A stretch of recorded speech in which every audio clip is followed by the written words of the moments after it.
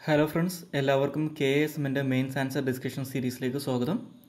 ഈ സെഷനിൽ നമ്മൾ ഡിസ്കസ് ചെയ്യാൻ പോകുന്നത് കെ എസ് മെയിൻസ് പരീക്ഷയുടെ പേപ്പർ ടുവിനകത്ത് വരുന്ന ഇന്ത്യൻ കോൺസ്റ്റിറ്റ്യൂഷനകത്തുനിന്നുള്ള മൂന്ന് ക്വസ്റ്റ്യൻസും അതിന്റെ ആൻസേഴ്സുമാണ് so first question briefly explain about the constitutional provisions regarding the representation of Anglo Indian community in the Parliament and state legislature second question briefly explain the departmental related standing committees and its significance third question how does the continuing disruption of parliamentary proceedings impact the functions of the Parliament and what are the reasons behind this new normal discuss so ഈ മൂന്ന് ക്വസ്റ്റ്യൻസിനകത്ത് first question രണ്ട് മാർക്കിന്റെ question ആണ്. രണ്ടാമത്തത് അഞ്ച് മാർക്കിനുള്ള question ആണ്.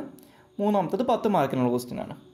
So ഇനി first question പരിശോധിച്ച് കഴിഞ്ഞാൽ briefly explain about the constitutional provisions regarding the representation of Anglo Indian community in the Parliament and state legislature അതായത് പാർലമെന്റിലും സ്റ്റേറ്റ് ലെജിസ്ലേച്ചറിലും ആംഗ്ലോ ഇന്ത്യൻ കമ്മ്യൂണിറ്റിക്കുള്ള റെപ്രസെന്റേഷനുമായിട്ട് ബന്ധപ്പെട്ടിട്ടുള്ള കോൺസ്റ്റിറ്റ്യൂഷണൽ പ്രൊവിഷൻസ് എന്തൊക്കെയാണെന്ന് ഡിസ്കസ് ചെയ്യാനാണ് പറഞ്ഞേക്കുന്നത്. സോ ഇതൊരു രണ്ട് മാർക്കിനുള്ള ക്വസ്റ്റ്യൻ ആണ്. സോ അപ്പോൾ അതിനുള്ള ഡയറക്റ്റ് ആയിട്ടുള്ള ആൻസർ മാത്രം പറഞ്ഞാൽ മതി. സോ ആംഗ്ലോ ഇന്ത്യൻ കമ്മ്യൂണിറ്റിക്കുള്ള പാർലമെന്റിനകത്തും സ്റ്റേറ്റ് ലെജിസ്ലേച്ചറിനകത്തുള്ള റെപ്രസെന്റേഷനുമായിട്ട് ബന്ധപ്പെട്ട് കോൺസ്റ്റിറ്റ്യൂഷനകത്ത് പറഞ്ഞേക്കുന്നത് രണ്ട് ആർട്ടിക്കിൾസിനകത്താണ്. ഒന്ന് ആർട്ടിക്കിൾ മുന്നൂറ്റി മുപ്പത്തി ഒന്ന് അതിനകത്താണ് ആംഗ്ലോ ഇന്ത്യൻ കമ്മ്യൂണിറ്റിക്ക് ലോക്സഭക്കകത്തുള്ള റെപ്രസെന്റേഷനെ കുറിച്ച് പറയുന്നത്. രണ്ടാമതായിട്ട് ആർട്ടിക്കിൾ മുന്നൂറ്റി മുപ്പത്തി മൂന്ന് അതിനകത്താണ് ആംഗ്ലോ ഇന്ത്യൻ കമ്മ്യൂണിറ്റിക്ക് സംസ്ഥാനങ്ങളിലെ ലെജിസ്ലേറ്റീവ് അസംബ്ലിക്കകത്തുള്ള റെപ്രസെന്റേഷനെ കുറിച്ച് പറയുന്നത്. സോ ആർട്ടിക്കിൾ മുന്നൂറ്റി മുപ്പത്തൊന്ന് അനുസരിച്ച് ആംഗ്ലോ ഇന്ത്യൻ കമ്മ്യൂണിറ്റിയുടെ റെപ്രസെന്റേഷൻ ലോക്സഭയിൽ എൻഷുർ ചെയ്യാൻ വേണ്ടിയിട്ട് അവർ ഇനഡക്കേറ്റ് ആയിട്ടാണ് റെപ്രസെന്റ് ചെയ്തേക്കുന്നത്. പ്രസിഡന്റിനും ബോധ്യം വന്നു കഴിഞ്ഞാൽ എന്ത് ചെയ്യാൻ പറ്റും? ആംഗ്ലോ ഇന്ത്യൻ കമ്മ്യൂണിറ്റി എന്നുള്ള രണ്ട് പേരെ പ്രസിഡന്റിനെ ലോക്സഭയിലേക്ക് നോമിനേറ്റ് ചെയ്യാം. അതേപോലെ ആർട്ടിക്കിൾ മുന്നൂറ്റി മുപ്പത്തി മൂന്ന് അനുസരിച്ച് സംസ്ഥാന ഗവർണർമാർക്ക് സംസ്ഥാന നിയമസഭയിലെ ലെജിസ്ലേറ്റീവ് അസംബ്ലിയിൽ ആംഗ്ലോ ഇന്ത്യൻ കമ്മ്യൂണിറ്റിക്ക് അഡ്വക്കേറ്റ് ആയിട്ട് റെപ്രസെന്റേഷൻ ഇല്ലെന്ന് തോന്നുകയാണെങ്കിൽ ആ കമ്മ്യൂണിറ്റിയിൽ നിന്നുള്ള ഒരാളെ ലെജിസ്ലേറ്റീവ് അസംബ്ലിയിലേക്ക് നോമിനേറ്റ് ചെയ്യാം. സോ ഈ ഒരു പ്രൊവിഷൻ ഈ രണ്ട് പ്രൊവിഷൻസ് ആർട്ടിക്കിൾ മുന്നൂറ്റി മുപ്പത്തി ഒന്നും മുന്നൂറ്റി മുപ്പത്തി മൂന്നും ആക്ച്വലി ഇന്ത്യൻ കോൺസ്റ്റിറ്റ്യൂഷൻ സ്റ്റാർട്ട് ചെയ്ത് പത്ത് വർഷത്തേക്കായിരുന്നു കണ്ടിന്യൂ ചെയ്യാൻ വേണ്ടി പറഞ്ഞിട്ടുണ്ടായിരുന്നത്. അതായത് നയന്റീൻ സിക്സ്റ്റി വരെ. പക്ഷേ പിന്നീട് സക്സസീവായിട്ട് വന്നിട്ടുള്ള കോൺസ്റ്റിറ്റ്യൂഷണൽ അമെൻമെന്റ് ആക്റ്റുകളിലൂടെ രണ്ടായിരത്തി ഇരുപത് വരെ പത്ത് വർഷം പത്ത് വർഷം വെച്ച് എക്സ്റ്റെൻഡ് ചെയ്തുകൊണ്ട് രണ്ടായിരത്തി ഇരുപത് വരെ ഇത് എക്സ്റ്റെൻഡ് ചെയ്തിട്ടുണ്ട്. അതായത് ഈ വർഷം ഇത് ലാപ്സ് ആയി പോവാണ്. ഇതിന് ശേഷം വന്നിട്ടുള്ള ഹൺഡ്രഡ് ആൻഡ് ഫോർത്ത് കോൺസ്റ്റിറ്റ്യൂഷൻ അമെൻമെന്റ് ആക്ട് അനുസരിച്ച് ഇത് എക്സ്റ്റെൻഡ് ചെയ്തിട്ടില്ല സോ ദാറ്റ് മീൻസ് രണ്ടായിരത്തി ഇരുപതോടുകൂടി ആംഗ്ലോ ഇന്ത്യൻ കമ്മ്യൂണിറ്റി റെപ്രസെന്റേറ്റീവ്സിനെ ലെജിസ്ലേറ്റീവ് അസംബ്ലിയിലേക്കും പാർലമെന്റിലേക്കും നോമിനേറ്റ് ചെയ്യുന്ന സിസ്റ്റം അവസാനിക്കുകയാണെന്ന് അർത്ഥം. ഓക്കെ സെക്കൻഡ് ക്വസ്റ്റ്യൻ രണ്ടാമത്തെ ചോദ്യം എന്ന് പറയുന്നത് അഞ്ച് മാർക്കിനുള്ള ചോദ്യമാണ്. So question briefly explain the departmental related standing committees and its significance അതായത് ഡിപ്പാർട്ട്മെന്റൽ റിലേറ്റഡ് സ്റ്റാൻഡിംഗ് കമ്മിറ്റീസ് എന്താണെന്നും അതിന്റെ സിഗ്നിഫിക്കൻസ് എന്താണെന്നാണ് ചോദ്യം. സോ അപ്പോൾ അതിന്റെ ആൻസർ രണ്ട് പാർട്ടുണ്ട് ആദ്യം എന്താണ് ഡിപ്പാർട്ട്മെന്റൽ റിലേറ്റഡ് സ്റ്റാൻഡിംഗ് കമ്മിറ്റീസ് എന്ന് പറയണം. രണ്ടാമതായിട്ട് അതിന്റെ സിഗ്നിഫിക്കൻസ് എന്താണെന്ന് പറയണം.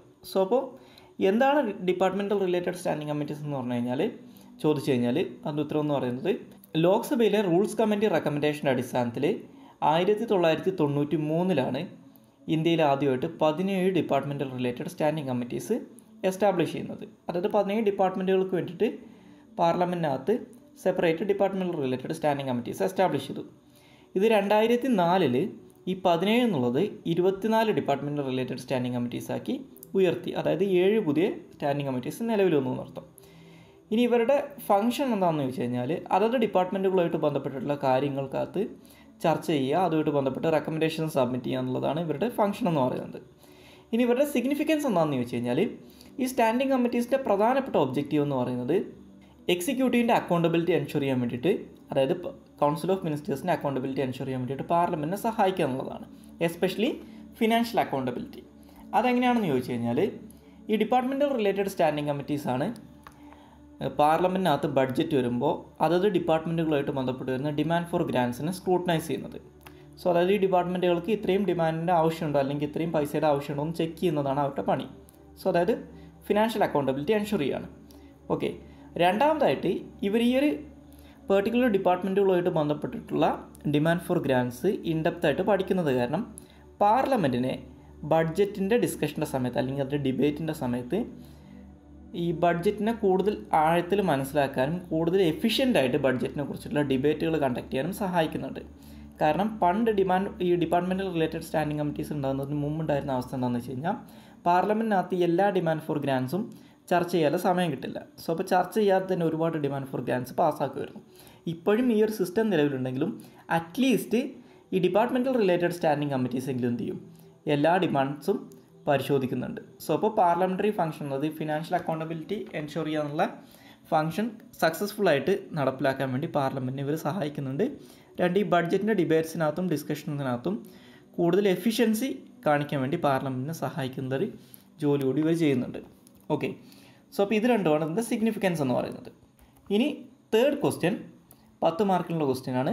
How does the continuing disruption of parliamentary proceedings impact the functions of parliament and what are the reasons behind this new normal so അപ്പോൾ ഇതൊരു പത്ത് മാർക്കിലുള്ള ക്വസ്റ്റ്യൻ ആണ്. സോ അപ്പോൾ ഇതിനകത്ത് ഒരു അനലിറ്റിക്കൽ പോയിന്റ് ഓഫ് വ്യൂ ഉണ്ട്.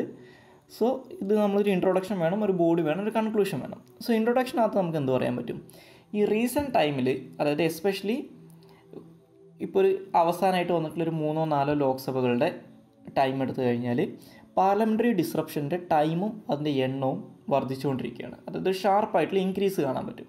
ഓക്കെ ഫോർ എക്സാമ്പിൾ ഏറ്റവും അവസാനമായിട്ട് വന്നിട്ടുള്ള ഫോർട്ടീൻത്ത് ആൻഡ് ഫിഫ്റ്റീൻത്ത് ലോക്സഭയുടെ കണക്കെടുത്ത് കഴിഞ്ഞാൽ അവരുടെ അറ്റ്ലീസ്റ്റ് ഒരു തേർട്ടി പെർസെന്റേജ് ടൈമെങ്കിലും അതായത് നല്ല രീതിയിൽ വർക്ക് നടക്കേണ്ട ഒരു തേർട്ടി പെർസെന്റേജ് ടൈമെങ്കിലും എന്താണ്? ഡിസ്റപ്ഷൻ കാരണം ഇല്ലാതായിട്ടുണ്ട്. ഡിസ്റപ്ഷൻ എന്ന് പറഞ്ഞു കഴിഞ്ഞാൽ ബഹളവും കാര്യങ്ങളൊക്കെ ഉണ്ടായിട്ട് പാർലമെന്ററി പ്രൊസീഡിങ്സ് സസ്പെൻഡ് ചെയ്യുകയോ അല്ലെങ്കിൽ അവരുടെ പ്രൊസീഡിങ്സ് നടത്താൻ പറ്റാതെ വരികയോ ചെയ്യുന്നത് കാരണം വരുന്ന സമയനഷ്ടത്തിനാണ് നമ്മളത് പറയുന്നത്. ഇനി എന്റെ ബോഡിക്കകത്ത് എന്ത് പറയാം? എന്തൊക്കെ ഇമ്പാക്റ്റുകളാണ് ഈ ഡിസ്റപ്ഷൻ കാരണം പാർലമെന്റ് ഫംഗ്ഷനിങ്ങിനകത്ത് ഉണ്ടാകുന്നതെന്ന് പറയാൻ പറ്റും. ഒന്നെന്ന് പറയുന്നത് എക്സിക്യൂട്ടീവിന്റെ അക്കൗണ്ടബിലിറ്റി എൻഷുർ ചെയ്യാൻ പറ്റില്ല. അതായത് എക്സിക്യൂട്ടീവിനെ അക്കൗണ്ടബിൾ ആക്കുക എന്നുള്ളതാണ് പാർലമെന്റ് എസ്പെഷ്യലി ലോക്സഭയുടെ പ്രധാനപ്പെട്ട ജോലി എന്ന് പറയുന്നത് അല്ലെങ്കിൽ ഒബ്ജക്റ്റീവ് എന്ന് പറയുന്നത്.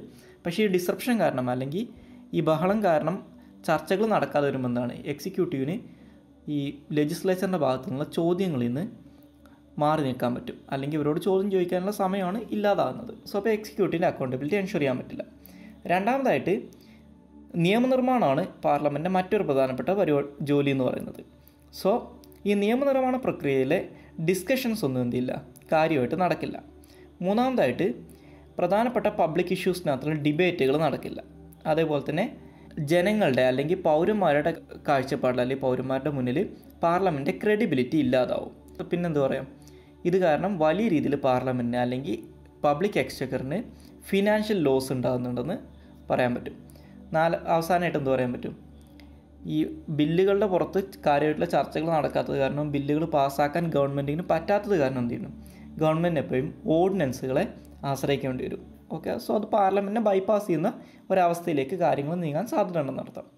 ഇനി ഇതിനുള്ള റീസൺസ് എന്തൊക്കെയാണെന്ന് ചോദിച്ചു കഴിഞ്ഞാൽ ഓപ്പോസിഷൻ പാർട്ടീസ് പലപ്പോഴും അവർക്ക് എന്തെങ്കിലും ഇമ്പോർട്ടന്റ് ആയിട്ടുള്ള ഡിബേറ്റ് ചെയ്യാനോ അല്ലെങ്കിൽ ഡിസ്കസ് ചെയ്യാനോ വേണ്ടിയുള്ള പ്രധാനപ്പെട്ട വിഷയങ്ങൾ ഉന്നയിക്കാൻ വേണ്ടി ഓപ്പോസിഷൻ പാർട്ടീസിന് മിക്കപ്പോഴും അഡക്വറ്റ് ആയിട്ടുള്ള ടൈം പാർലമെന്റിനകത്ത് അലോക്കേറ്റ് ചെയ്ത് കൊടുക്കാറില്ല. സോ അപ്പോൾ അവർ പലപ്പോഴും ഇതിന്റെ പേരിൽ ബഹളം വെച്ചുകൊണ്ട് ഡിസ്റപ്ഷൻസ് ഉണ്ടാക്കും. രണ്ട് ഇന്ന് ഭരിക്കുന്ന പാർട്ടിയാണ് പണ്ട് കാലത്ത് ഓപ്പോസിഷൻ പാർട്ടി ആയിട്ടിരിക്കുന്നത് സോ അപ്പോൾ അത് കാരണം ഇവർ ഓപ്പോസിഷനിൽ ഇരുന്നിരുന്ന സമയത്ത് ചെയ്തിട്ടുണ്ടായിരുന്ന സെയിം ആണ് പാർലമെന്ററി ഡിസപ്ഷൻസ് എന്ന് പറയുന്നത്. സോ അപ്പോൾ അത് കാരണം ഓപ്പോസിഷൻ പാർട്ടീസ് എന്ത് ചെയ്യും? നിങ്ങൾ അന്ന് ചെയ്തിരുന്ന ജോലി ഞങ്ങൾ ഇന്ന് ചെയ്യുന്നുണ്ട് എന്നുള്ളൊരു കാര്യ രീതി പറഞ്ഞുകൊണ്ട് ഇതിനെ ന്യായീകരിക്കാൻ നിൽക്കും. ഓക്കെ മൂന്നാമതായിട്ട് എന്ത് പറയാം? ഏതെങ്കിലും കോൺട്രവേഴ്ഷ്യൽ ആയിട്ടുള്ള ഇഷ്യൂസുമായിട്ട് ബന്ധപ്പെട്ട് ഡിസ്കഷൻസ് വരുന്ന സമയത്താണ് മിക്കപ്പോഴും പാർലമെന്ററി ഡിസ്റപ്ഷൻസ് ഉണ്ടാകുക അല്ലെങ്കിൽ പരസ്പരം ഒച്ചയും ബഹളമൊക്കെ ഉണ്ടാക്കിയിട്ട് പ്രശ്നം ഉണ്ടാകാൻ തുടങ്ങുക. നാലാമതായിട്ട് എന്ത് പറയാൻ പറ്റും? അതായത് റീജിയണൽ പാർട്ടീസിന്റെ റൈസ് അല്ലെങ്കിൽ ഫ്രാഗ്മെന്റഡ് പൊളിറ്റിക് പൊളിറ്റിക്സ് എന്ന് പറയുന്നത് ഒരു റീസണായിട്ട് പറയാൻ പറ്റും. അതായത് റീജിയണൽ പാർട്ടീസ് എന്ന് പറഞ്ഞു കഴിഞ്ഞാൽ അവരുടെ പെർട്ടിക്കുലർ റീജിയനകത്ത് നടക്കുന്ന കാര്യങ്ങളുടെ പേരിൽ പാർലമെന്റിനകത്ത് ഡിസ്റപ്ഷൻസ് ക്രിയേറ്റ് ചെയ്യാറുണ്ട്. അതായത് അതിനകത്ത് ഒരു എന്റയർ നാഷൻ അഫക്റ്റ് ചെയ്യുന്ന ഇഷ്യൂസ് എന്നുള്ളതിനെക്കാട്ടിലും വളരെ മൈന്യൂട്ടായിട്ട് ഒരു റീജിയനെ മാത്രം സ്പെസിഫിക് ആയിട്ട് ബാധിക്കുന്ന ഒരു വിഷയത്തിന് വേണ്ടിയിട്ട് പാർലമെന്റിനകത്ത് പ്രശ്നം ഉണ്ടാക്കിയിട്ട് എന്റയർ നേഷന് വേണ്ടിയിട്ട് ചിലവഴിക്കേണ്ട നല്ല സമയം ഇല്ലാതാക്കാറുണ്ട്. ഓക്കെ പിന്നുള്ളത് ക്വാളിറ്റി ഓഫ് പാർലമെന്ററി മെമ്പേഴ്സ് നമുക്കറിയാം പാർലമെന്റിനകത്തുള്ള ഒരു വലിയ ശതമാനം മെമ്പേഴ്സും ക്രിമിനൽ ബാക്ക്ഗ്രൗണ്ടിൽ നിന്നോ അല്ലെങ്കിൽ കാര്യമായിട്ടുള്ള വിദ്യാഭ്യാസം കിട്ടാത്തവരുമാണ്. സോ അപ്പോൾ ഈ രീതിയിലുള്ള പാർലമെന്ററി മെമ്പേഴ്സിന്റെ ഒരു ബാക്ക്ഗ്രൗണ്ടും ഇതിന് കാരണമാകുന്നുണ്ടെന്ന് പറയാൻ പറ്റും. ഇനി ഇതിനകത്തൊരു കൺക്ലൂഷനായിട്ട് നമുക്ക് എന്ത് പറയാൻ പറ്റും? അതായത് പാർലമെന്ററി മെമ്പേഴ്സിന്റെ ക്വാളിറ്റി എൻഷുർ ചെയ്യാൻ വേണ്ടിയിട്ട് ഇലക്ട്രൽ റിഫോംസ് കൊണ്ടുവരാൻ പറ്റും. നമുക്കൊരു വേ ഫോർവേഡായിട്ട് പറയാൻ പറ്റുന്നതാണ്. ഓക്കെ അതേപോലെ തന്നെ ഗവൺമെന്റ് എന്ത് ചെയ്യാൻ പറ്റും? ഇമ്പോർട്ടന്റ് ആയിട്ടുള്ള ഇഷ്യൂസിലും അതേപോലെ തന്നെ ബില്ലുകളുടെ കാര്യത്തിലൊക്കെ എന്ത് ചെയ്യാൻ പറ്റും? ഗവൺമെന്റിന് ആദ്യം തന്നെ കൺസെൻസസ് കൊണ്ടുവന്നതിന് ശേഷം ഇത് പാർലമെന്റിൽ അവതരിപ്പിക്കാൻ പറ്റും.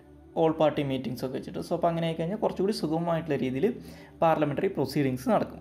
ഓക്കെ സോ അപ്പോൾ ഇതിന് വേണ്ടിയിട്ട് എന്ത് ചെയ്യാൻ പറ്റും? ഈ പാർലമെന്റിലെ ഡിപ്പാർട്ട്മെന്റൽ റിലേറ്റഡ് സ്റ്റാൻഡിങ് കമ്മിറ്റീസൊക്കെ ഇതിന് വേണ്ടിയിട്ട് യൂസ് ചെയ്യാൻ പറ്റും. ഈ ഒരു കൺസെൻസസ് ബിൽഡ് ചെയ്യാൻ വേണ്ടിയിട്ട്.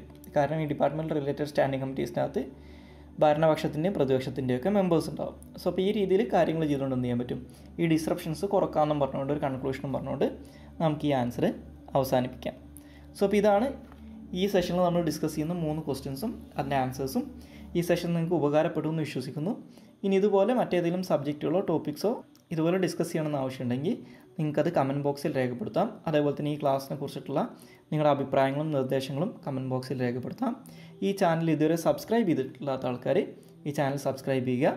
നോട്ടിഫിക്കേഷൻ കിട്ടാൻ വേണ്ടിയിട്ട് ബെല്ലൈക്കൺ പ്രസ് ചെയ്യുക.